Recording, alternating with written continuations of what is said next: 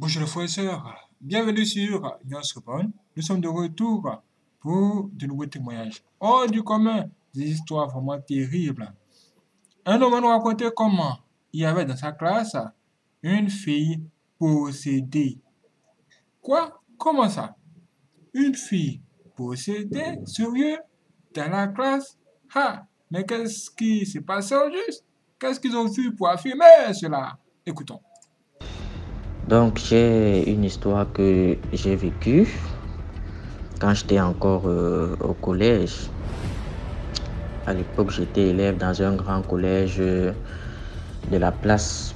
Il faut, faut se noter que je suis au Cameroun, plus précisément à Douala. Donc, euh, j'ai fréquenté dans un grand collège de la place dont je vais taire le nom, mais sinon, beaucoup reconnaîtront cette histoire parce que ça avait, ça avait beaucoup fait parler à l'époque. Je crois que c'était en 2016-2017, quand j'étais.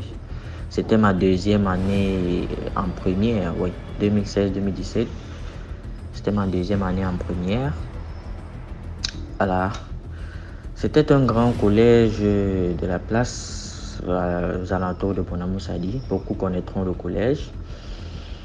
Alors, l'histoire commence euh, en tout début d'année lorsque euh, les cours ont commencé. Il y a une nouvelle élève qui est arrivée là euh, au mois de octobre, oui, octobre-novembre. Voilà. Euh, bizarrement, j'avais pas compris pourquoi euh, beaucoup étaient réticents à l'idée de s'asseoir à côté de cet élève. Bon, moi, je comprenais pas trop. Donc, euh, elle est entrée, elle s'est assise euh, au niveau de la fenêtre. Là, elle était au premier banc toute seule, au niveau de la fenêtre. Même la personne qui était au premier banc, lui, il a eu à déménager, il allait s'asseoir un peu plus derrière. Bon, moi, j'ai pas trop compris pourquoi. Bon, bizarrement, je m'étais même pas intéressé à cela. Bon, moi, j'avais un objectif à, à passer. Voilà que on est, on avance. Nous sommes, on arrive en novembre, décembre, si je me souviens bien.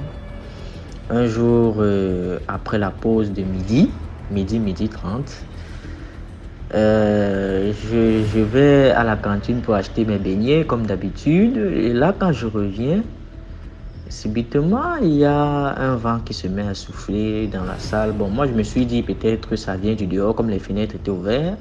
Ça vient du dehors, peut-être il menace de pleuvoir. Donc, je suis surpris que la plupart des gens, les gens qui étaient sur la rangée où la fille était assise, ont commencé à, à, décaler. Comme on dit là, ils ont commencé à, quoi, commencé à prendre la poudre d'escampette. Et bizarrement, les fenêtres sont fermées. Et a commencé à voir comme une crise de panique. Bon, moi, je comprenais rien puisque je venais d'entrer en salle. J'étais avec mes beignets en main. Les gens ont commencé à avoir peur.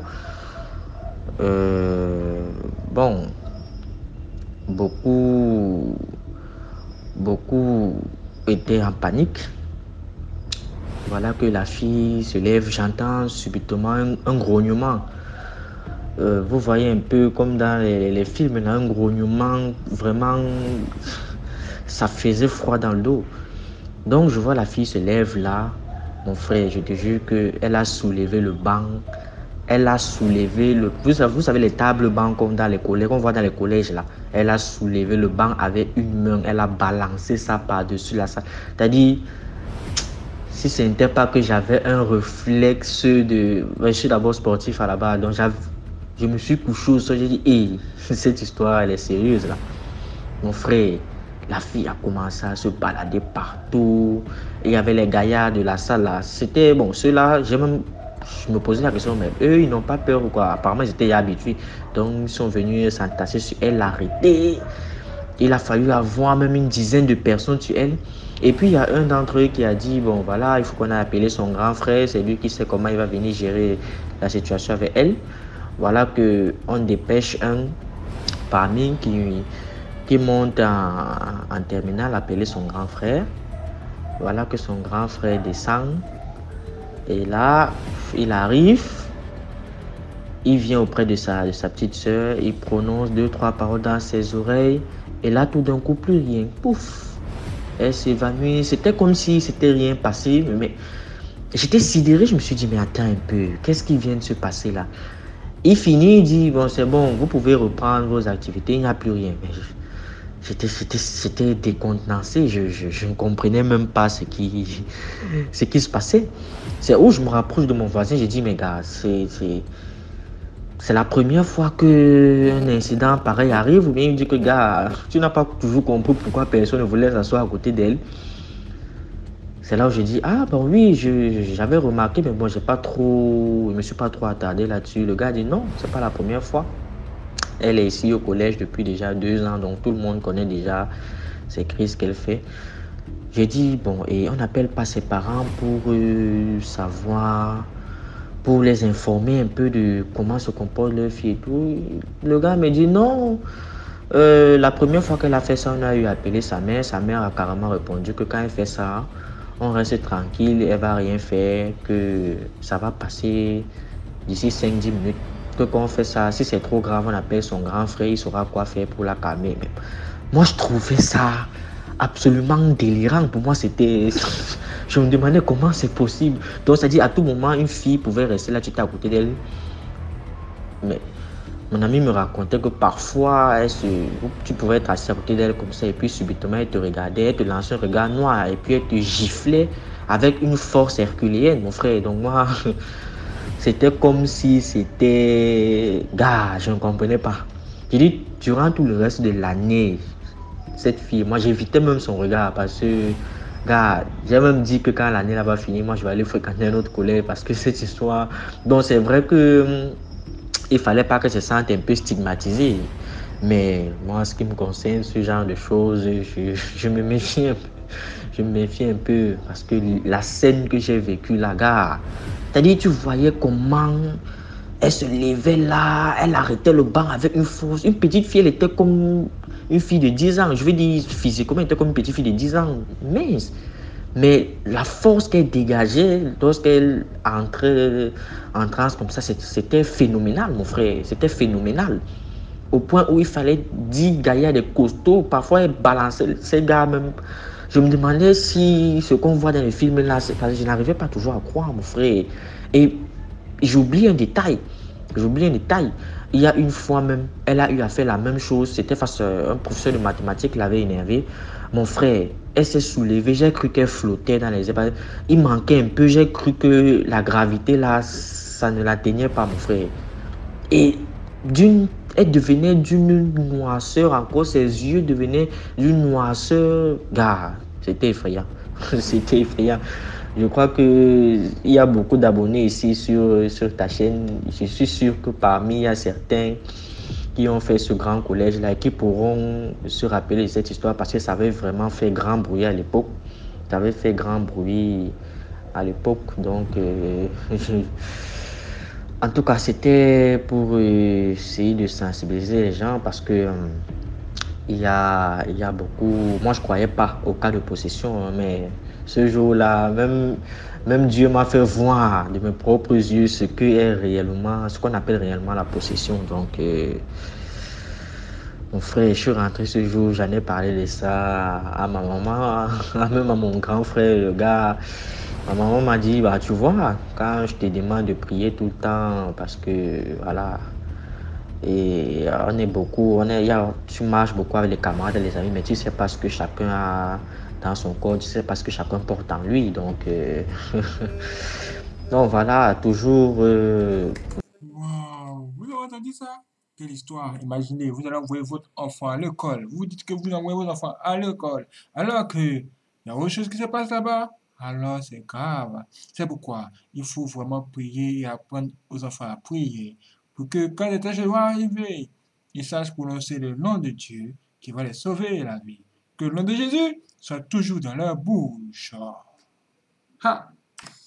Bien, nous allons écouter encore notre témoignage d'une histoire hors du commun. C'est parti. Alors, euh, je viens de vous raconter l'histoire euh, de ma mère. Euh, ce, cette, cette, cette, histoire s'est passée dans les années 80. Ma mère, euh, ayant perdu ma petite sœur, euh, était, euh, venue s'installer à Libreville et s'est mise à la recherche d'un travail. Donc, elle trouve un travail chez un sujet mauritanien. Donc, on va appeler le mauritanien Abdel. Donc, chez Abdel, elle trouve le, le, travail et en fait, c'était un travail où elle était un peu la femme à tout faire. Elle faisait en même temps le ménage et de temps en temps vendait au magasin. Et euh, ma mère me raconte cette histoire parce qu'un jour, j'étais en train de feuilleter son album photo.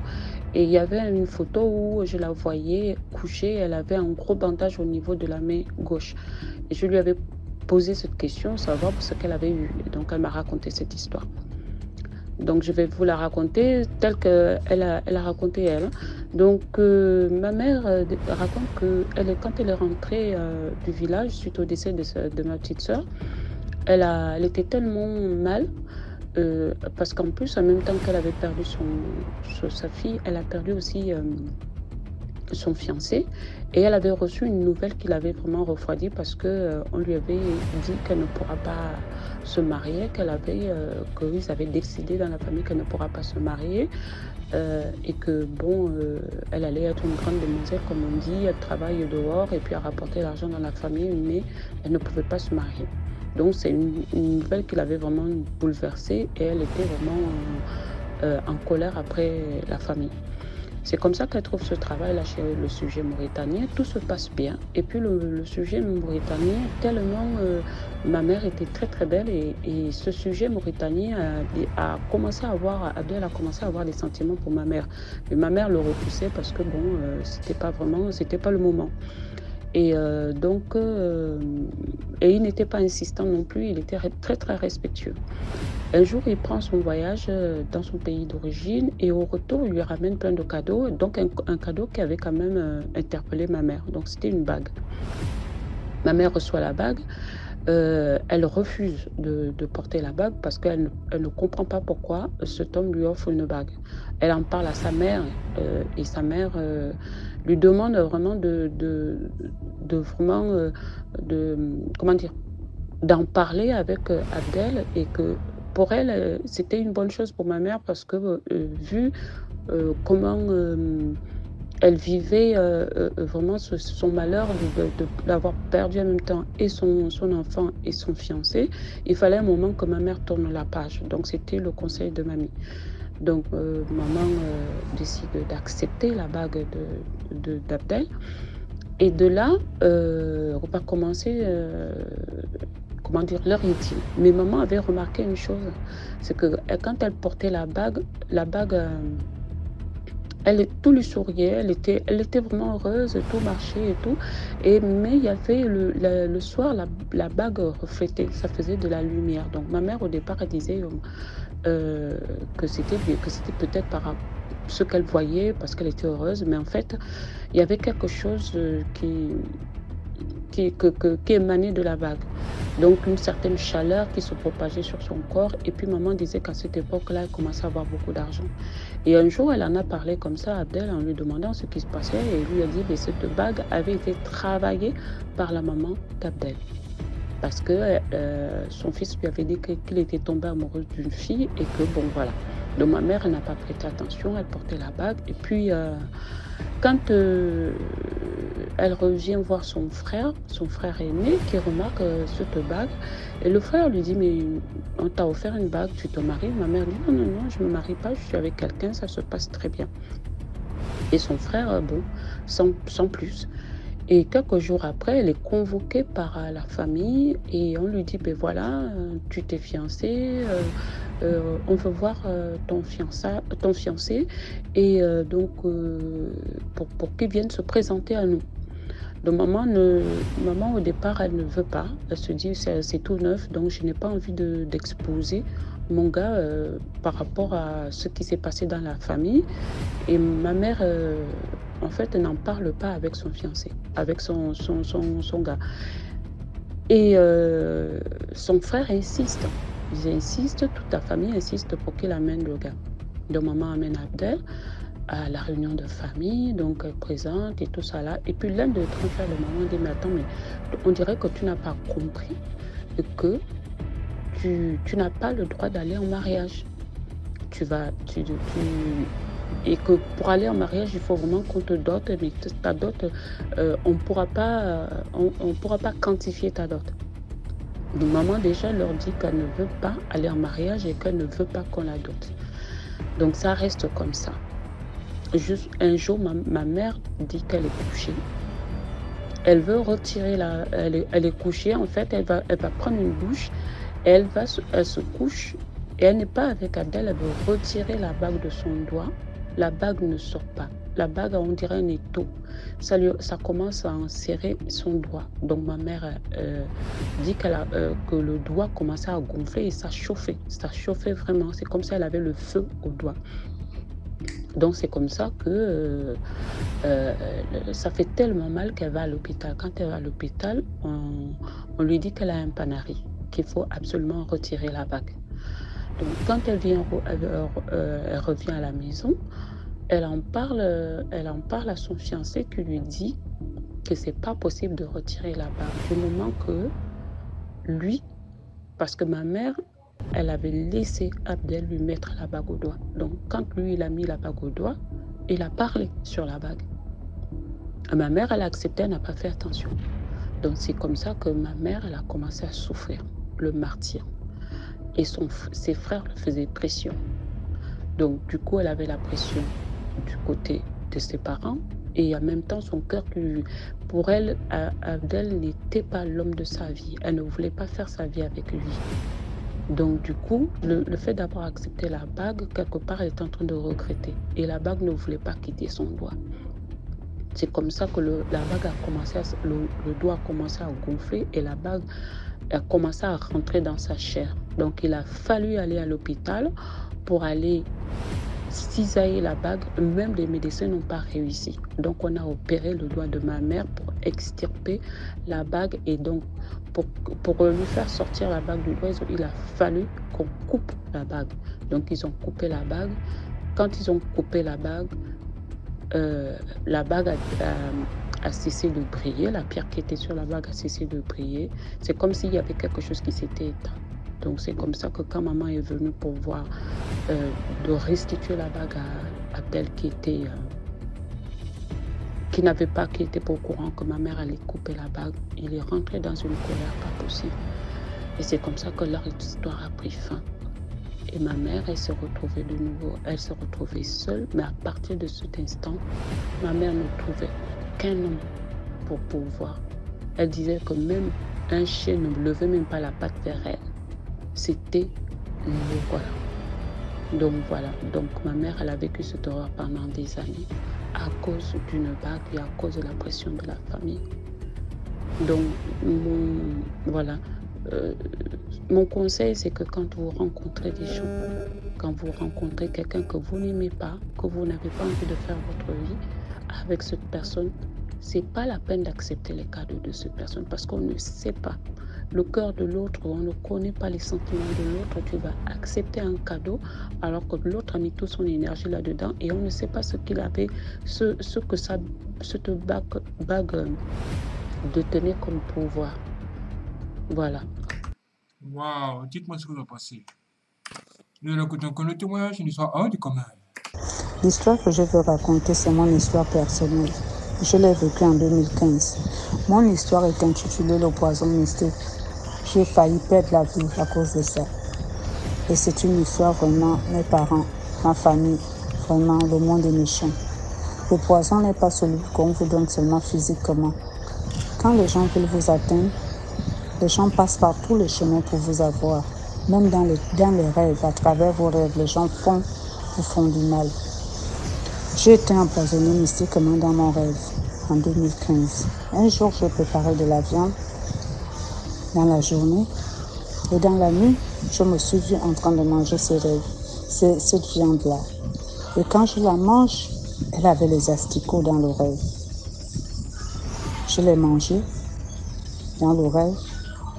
Le lendemain matin, j'ai senti une boule dans ma gorge. J'ai pris un verre d'eau, j'ai bu, j'ai senti la boule descendre dans mon ventre. Et après, dans la journée, dans la soirée, Vraiment, cette journée-là, je ne me suis pas sentie bien, hein, mes frères. Je ne me suis pas sentie bien.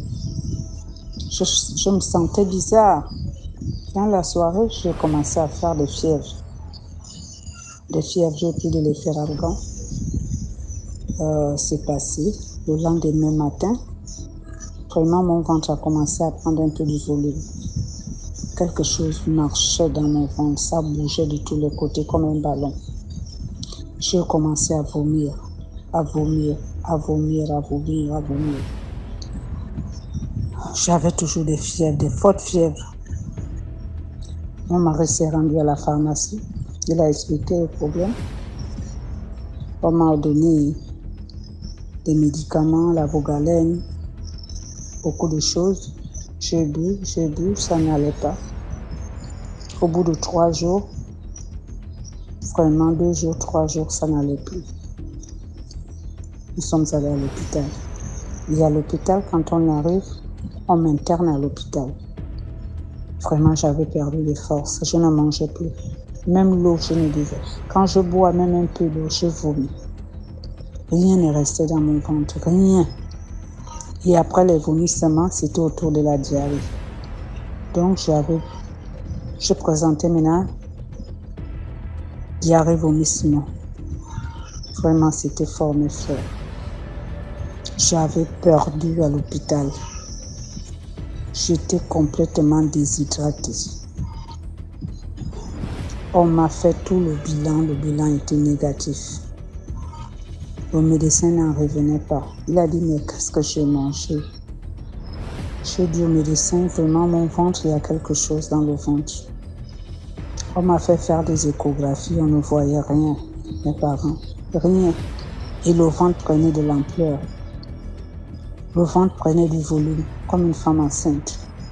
Et quelque chose bougeait. Mais on ne voyait rien à l'hôpital. Au bout d'une semaine à l'hôpital, on me mettait deux deux glucosés dans chaque main. On disait qu'il n'y avait rien, on ne peut pas me garder. Et j'étais fatiguée. Ils m'ont, le médecin m'a dit, moi je t'ai gardé pour te remonter parce que tu es déshydraté. Je suis fatiguée. Mes parents, moi qui pesais 75 kilos, je suis descendue à 35 kilos. En sortant de là, au bout d'une semaine, euh, il y a une dame qui a dit à mon mari, il y a un tradipraticien, je vais te le montrer. Parce que ce que je vois sur ta femme, c'est pas à l'hôpital. Nous sommes allés chez le tradipraticien. Il a consulté. Il a dit à mon mari ta femme a été empoisonnée mystiquement. On l'a donné quelque chose en rêve. Et c'est cette chose-là qui lui fait ça. Et cette chose-là, c'est la chair humaine. Vraiment, mes parents, je ne me sentais pas bien. Je voyais la mort. Et partout, on me disait j'avais la tombe ouverte. Je me sentais vraiment, je ne sais pas comment vous dire, mes parents. Je chauffais à l'intérieur de moi. J'avais une chaleur qui dégageait de mon corps. Une chaleur, une forte chaleur. Et je n'avais jamais froid, j'avais toujours chaud. Et le guérisseur en question m'a, fait son traitement. Et après, je suis revenue à la maison. Vraiment, mes parents, ça n'allait pas. On m'a encore amené chez une autre maman qu'on m'a orientée. Elle aussi, elle a aussi dit la même chose. Elle a dit la même chose. Pareil. Elle a aussi fait ce qu'elle a eu à faire. Après là, en sortant de là, toujours ça n'allait pas. On a dit à mon mari d'aller voir euh, un imam exorciste. Nous sommes allés dans une mosquée chez l'imam l'exorciste en question. L'imam en question, il a commencé à me faire des prières d'exorcisme. Je vous dis DMG, je m'enroulais au sol comme un serpent. Je faisais les choses, les choses que les serpents font. Pareil, les gens étaient étonnés. Et à chaque fois qu'il me faisait les prières, je vous jure, DMG, je sentais y a la boule qui se déplaçait d'une vitesse dans mon ventre. Et ça commençait à aller. Ça a commencé à aller, les vomissements se sont arrêtés. Il m'a fait beaucoup de traitements, l'huile d'onction, l'huile d'olive travaillée, coranisée. L'eau coranisée, je me lavais, je buvais. Ça commençait vraiment à aller. Et il fallait vraiment extraire cette chose-là. Et nous ne sommes pas allés jusqu'au bout. Mon mari a dit non. on l'a montré quelqu'un vers le Nigeria. Il préfère que je voyage. Et j'ai voyagé, je suis partie au Nigeria. Là-bas, j'ai eu la guérison. On m'a soigné. Je suis revenue. Et ils m'ont fait comprendre que c'est un complot mystique. Les gens ont voulu me détruire. Ils ont tout fait physiquement, ils n'ont pas pu. Donc ils se sont associés pour me détruire dans le rêve mystiquement. C'est pour vous dire à ma famille, c'est pour vous dire à ma famille, si quelqu'un vous demande un jour qu'est-ce que vous préparez, même si c'est votre meilleur ami, ne dites pas ce que vous avez préparé, ne dévoilez pas le secret. C'est là-bas que j'ai appris ça. Parce que le sorcier passe à travers ce canal. C'est parce que moi, ce jour-là, un voisin m'avait demandé, mais qu'est-ce que tu prépares aujourd'hui? J'ai dit, je prépare de la viande. Je vous dis, ma famille, le sorcier les sorciers s'unissent dans la soirée pour vous détruire. Si vous avez un voisin sorcier, si l'un de vos parents est sorcier qui cherche à vous détruire, il passe par votre voisin pour vous avoir. Donc ils ont fait ça pour me détruire. Donc vraiment la famille, le poison n'est pas seulement que celui qu'on vous donne physiquement, il y a aussi le poison mystique. J'ai vécu cette histoire, j'ai failli perdre la vie. Partout là où je partais, on me disait, tu as laissé la tombe ouverte. Ta tombe est ouverte, vraiment. Et après le traitement, pendant le traitement, je me suis vue être avalée par un gros piton. Et quelque chose est venu couper la tête du piton. Vraiment, merci DMG, merci à toute la grande famille. Je suis heureuse de raconter mon histoire, mon vécu. Bien de choses à vous. Likez, partagez. Merci beaucoup pour l'histoire. Waouh, c'est grave, ce monde est terrible. Il y a beaucoup de choses qui se passent. Dites-moi ce que vous en pensez. Sur ce, vous donne rendez-vous pour la prochaine vidéo de sur Bonne.